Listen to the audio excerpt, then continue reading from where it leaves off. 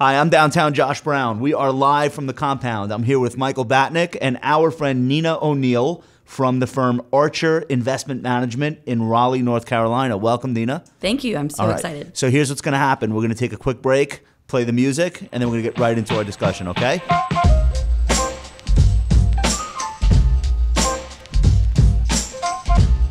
I asked you to come up because I just feel like, and I said this to you off camera, every time I have a conversation with you about being a financial advisor, running a practice, trying to manage our lives, I find that you're one of the most authentic people I know, and you just tell it like it is. And you did that on stage at Wealth Stack, and people absolutely loved it. Um, how long have has Archer Investment Management been around, and what is your role there? So we've been around for 12 years, uh, actually 13. So 2006, my partner founded it, and then I partnered with him in 09. Okay. And so we celebrate 10 years 10 you. years, which is exciting. And my role is we're 50 50 partners on every client, every um, expense, every bit of revenue. So um, even though he founded it, I came on board uh, not too long afterwards and really helped to expand and grow the practice. Okay, so so you're working with primarily high net worth investors um, in the North Carolina area. No, actually, Not we have clients in uh, either somewhere between 13 and 16 states across the country. Actually, our largest relationships are not in North Carolina at all. Um, and so we're from San Francisco, New York, Chicago. Um, a lot are going to be based in North Carolina just because of the nature of the beast. That's where we are. But we work with a range of individuals, so from high net worth down to not uh, a lot of net worth yet. So 55% of our book of business is high income earning professionals. And a lot of those are going to be still in their income earning years, so Gen X, Gen Y. And then 45% of our book is boomers, but they're young boomers. So our average client age is 52. I love the way you say boomers. Young say, boomers. Say, wait, say it one more time. Boomers. Boomers. All right. Um, so here's the deal. You did this really cool video series for Investment News called "The Juggle Is Real," which I've just learned you have that term trademarked. I do. All right, I'm jealous. It's perfect. but what you were basically tr- what you were trying to get across is like this is not easy. And w- what made me what made me so interested in that approach to like telling your story. Yes, I'm an advisor, but then I go home, I have the kids, my husband, my house, all the you know. You very rarely see that when advisors are public facing there's like this illusion of like how in control they are of everything and how easy everything is. And I think, you know, a lot of that is important for the marketing, but it's very rare that someone's like, look what's going on. So talk a little bit about like what made you want to do that and uh, when you filmed that and um, what the response has been.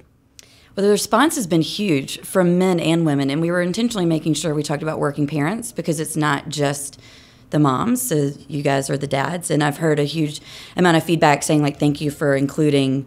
Or recognizing that it's both parties, and um, so the, the the concept came around a long time ago, and I started using it as a hashtag because I got really irritated with the Pinterest mom look, honestly, Right. and and not just in our industry, but across the board, this high expectation of parents to be, you know, working on all levels at an incredible, incredibly high energy and perfection. And I just didn't think it was fair because I always felt like I was failing at that. And um, so I thought, why don't I mean I know I'm not the only person dealing with this. And when you talk about advisors, you know, go to industry events or talk to people locally, and it's like trying to prove how smart you are.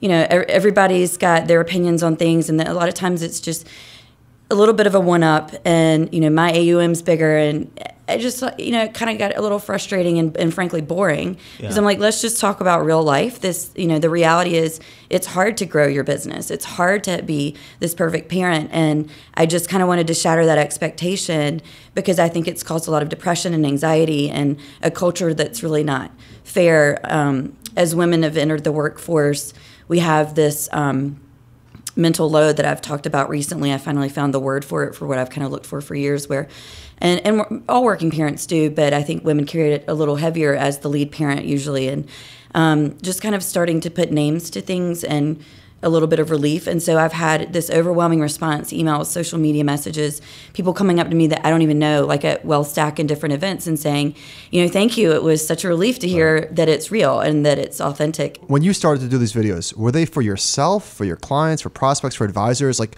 who was the intended audience, or was it just for yourself, like to just vent? So, uh, Matt Ackerman at Investment News is a friend of mine, and he has always told me, he's like, I love your posts because I feel the same way, and I'm traveling a lot, and he has two two boys as well. So we were just kind of shooting the breeze, talking about, and he's like, it would be such a cool video series because I was actually going to make a blog post or a book, so I actually have the You, stories in so, book but you form. had cameras in your house. yeah. Okay. yes, it's like a reality show. yeah, yeah, Right. and and it was funny because they filmed me going to school the first day of school for my sons, and um, so I had a lot of text messages from moms like, "Have you started a reality show?" Yeah, what's going And I was on? like, I "Just feel wait." like you, you found the right medium because that like would not resonate in writing. It, it just wouldn't have the same message in a I blog don't think post. so, and that's kind of where when he said video, it was the first time I'd ever thought about it because I'm not going to produce that myself. I don't have the, I don't, I don't know how to, but Yeah, we're financial advisors. We're not. Uh, Right, yeah. And so I'd never thought about it. And then it was kind of like, well, what's the purpose? I mean,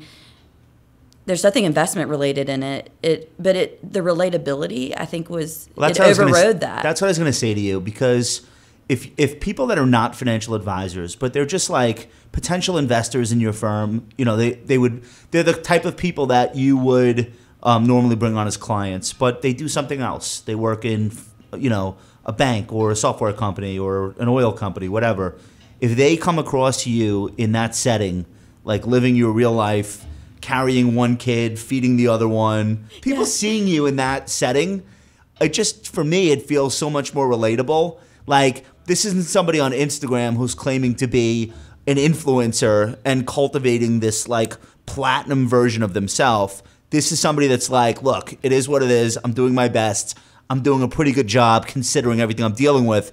Somebody seeing that, I feel like if if they're smart and they get it, they would be like, that's somebody that I trust with my life decisions, my money. Um, and I, I'm guessing you got that response. yeah, and it, a lot of our clients are living that life. So they are most of the time two income working. earning households, Yeah. and they they have um, difficult jobs. And so I love the response from a client that I don't get to speak to a lot because she's a doctor and her hours are insane, and her husband's a traveling uh, sales professional, and so and they have two girls that are um, young.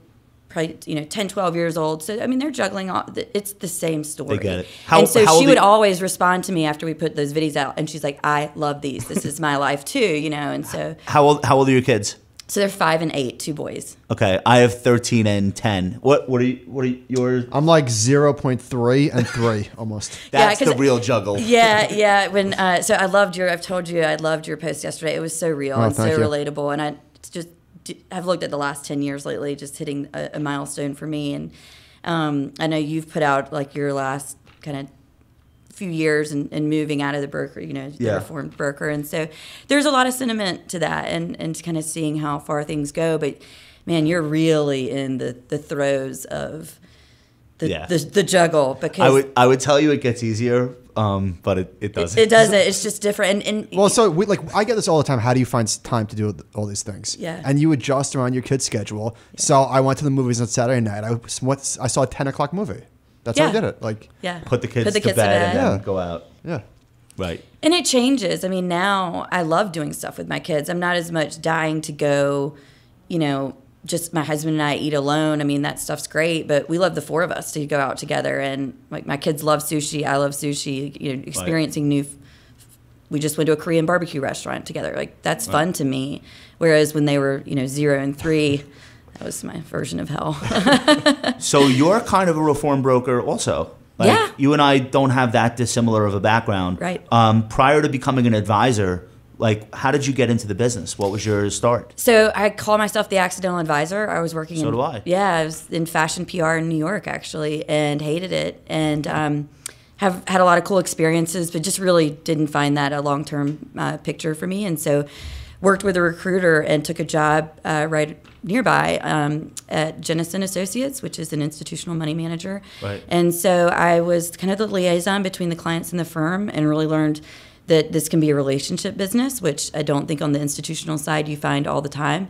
And I really learned how to work with people and the relatability. Um, I became very close to a lot of the clients and I watched the wedding video of one of the client's daughters on the phone with him, and he, he was the CFO of a huge company. And I just found that they taught me a lot about not only working in finance, but that it was about managing the personal relationship. And I love that. And so when I wanted to move back to North Carolina, I was an advisor at a wirehouse. So I took an Right. opportunity there. And then in the financial crisis, they ter- completely terminated my um, training program that I'd been in for they just did over they three did years. the, the biggest favor imaginable. Oh, uh, yeah. At the time, you know, you think it's the worst thing, and I wanted to get out of the business. But I met my partner, whom, whom I'd known for three years already. We met in 06, right when I moved back to North Carolina. He's from New York, so it was kind of this interesting. And he's only three or four years older than I am, so we were both really young.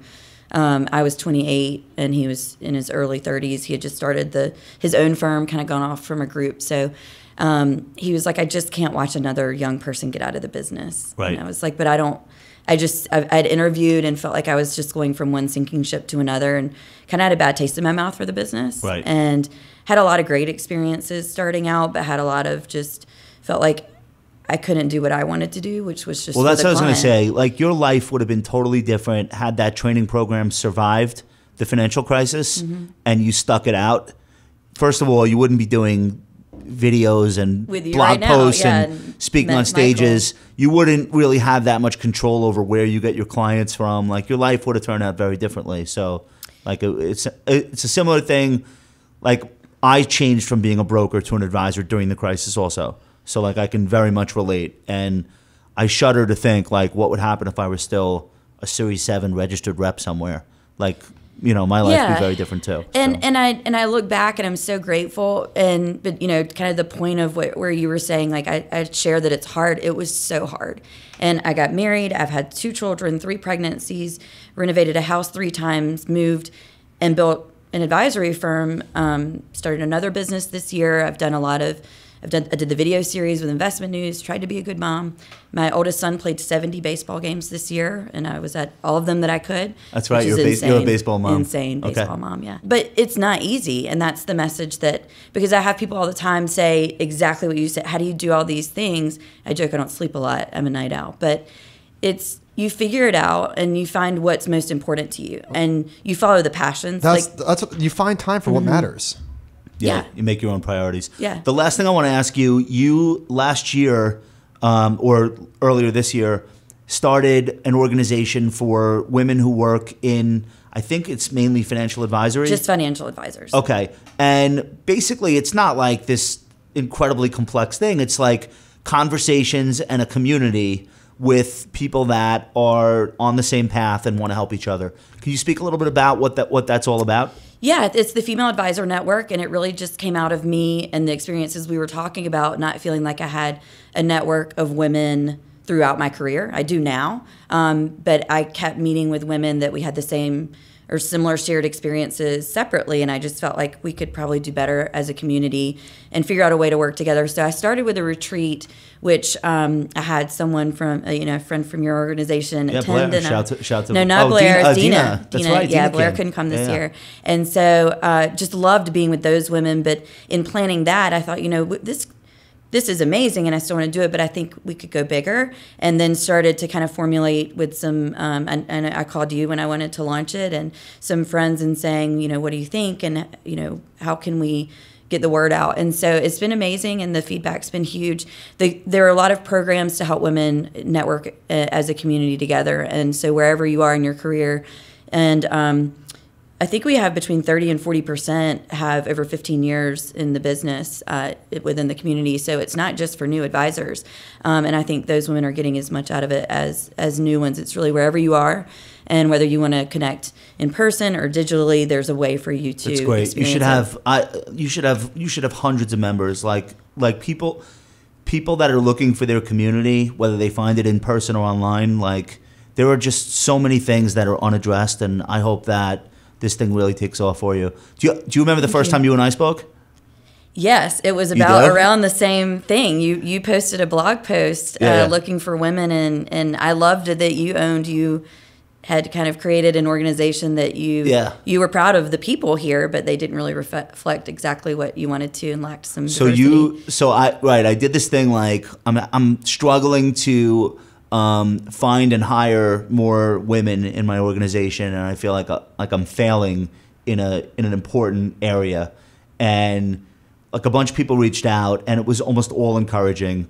Um, but you were like, dude, you're a mess. Let's get on the phone. I was like, no, we exist. We're not unicorns, but like I can help you. Let's talk. But you did help. You did help yeah. me. You were awesome. Oh, so thank I, you. I will never, I will never forget that. I really appreciate it. Um, how do you want people to follow you and and find your stuff? So you're at N. O- Are you N O'Neal? N O'Neal five ten. at N O'Neal five ten on Twitter. Yeah, so I'm on LinkedIn as well, and then I'd love for anyone, guys or, or girls, to follow uh, the Female Advisor Network, which is at the Female Advisor on Twitter, and there's also Instagram, Facebook, LinkedIn, so you can just search for the handles. Awesome. Thanks for coming by, Thank Nina. you. Appreciate awesome. it. All right, let us know uh, what you think is is balancing running uh, any business, financial advisory or otherwise, uh, and family. Is it is it hard? Is it easy for you? What makes it hard? What makes it easy? We love your feedback. Go ahead and subscribe to the channel if you have not already. Follow Nina on all of her channels, and we will be back with you soon.